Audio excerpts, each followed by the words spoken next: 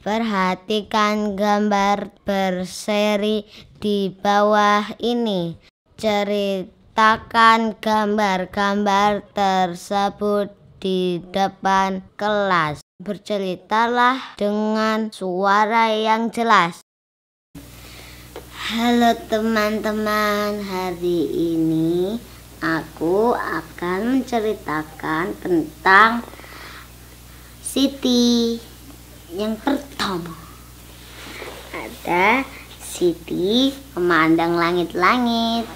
Dia melihat bintang, bulan, dan dia melihatnya dari jendela.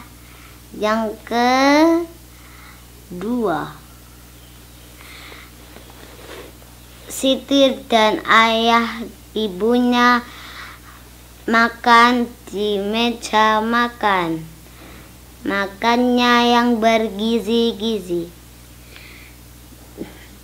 Dan sambil tenang. Yang ketiga, Siti menggambar pemandangan. Ibunya men. Wah, menyapa. menyapanya.